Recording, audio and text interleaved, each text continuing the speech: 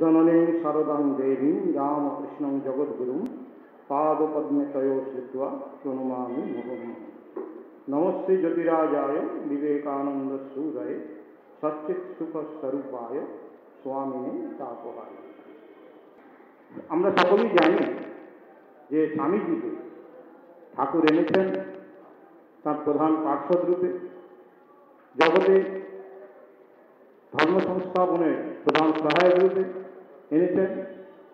ঠাকুর বলতেন, নরেন্দ্রনাথ সম্বন্ধে যে তিনি সপ্ত ঋষির একজন। সেই সপ্ত ঋষির একজনকে সম্বন্ধে বলতে গিয়ে বলেছেন, যেখানে দেবতারাও পৌঁছাতে পারে না। ঠাকুর সেখানে গিয়ে তাকে প্রেমের সেই আহ্বান করে এই পৃথিবীতে এনেছেন লোকশিক্ষার উদ্দেশ্যে পরবর্তীকালেও ঠাকুরের সঙ্গে তার বিবাহ খেলায় সেই জিনিসগুলো প্রতিফলিত হয়, বিখ্যাত ঘটনা। আমরা সকলেই সেই ঘটনা সম্বন্ধেও জানি। যে কাশীপুরে যখন ঠাকুর অসুস্থ, স্বামীজি ঠাকুরের কাছে বারে বারে নির্বিকল্প সমাধির জন্য প্রার্থনা করছিলেন। নির্বিকল্প সমাধি ঠাকুরের স্বামীজির হয়ে ওঠে। তারপরে ঠাকুর তাকে বললেন, তুই এখন যা চাইছিলিস তাকে দেওয়া হলো। এখন তালা দেওয়া থাকব তোকে, মায়ের কাজ অনেক এখন করতে হবে, তারপরে তালা খোলা, তালা খুলে দেওয়া হবে। সেই প্রসঙ্গে বলেছিলেন তুই খালি নিজের ঠিক হ্যাঁ যে তার আগেই সেই কিছু আগে যখন নির্বিকল্প সমাজের প্রার্থনা জানিয়েছিলেন বলেছিলেন, কোথায় কি আশা করেছিলাম, বিশাল বদবৃক্ষের মতো হবি, তোর আশ্রয়ে কত মানুষ আশ্রয় পাবে? হ্যাঁ এইসব কথা বলেছিলেন, আমরা জানি। অর্থাৎ তিনি বহু মানুষকে আশ্রয় দেওয়ার জন্যই জগতে এসছেন, সেই জন্যই ঠাকুর তাকে এনেছেন।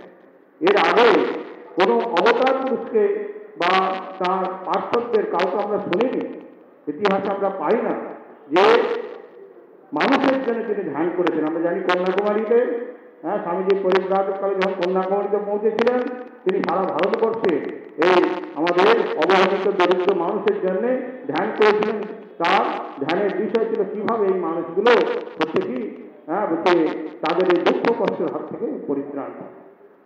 আমরা জানি সন্ন্যাসীরা ঈশ্বরের চিন্তা করেন তিনি কিন্তু সেই সময় মানুষের দুঃখ কষ্টের নিবারণের চিন্তা করেছেন ওই ঠাকুর তাকে দিয়ে সবকিছু কমিয়ে নিচ্ছেন।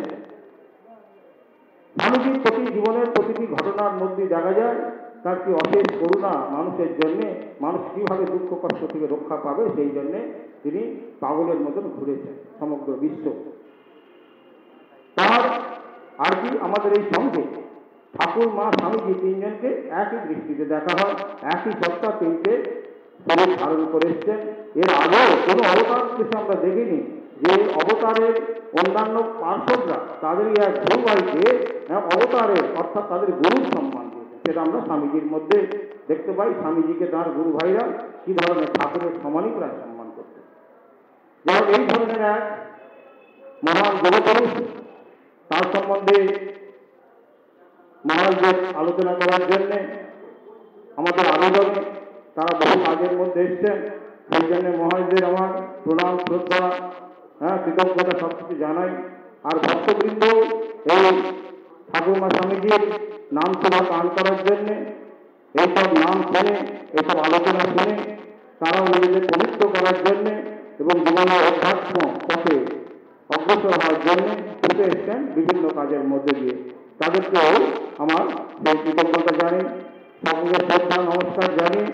আসুন আমরা সকলে মহারাজের কাছ থেকে এই যে ঠাকুর, বিশেষ করে স্বামীজির প্রসঙ্গ শুনে আমাদের জীবন ধন্য করি, কৃতার্থ হই। হ্যাঁ নমস্কার।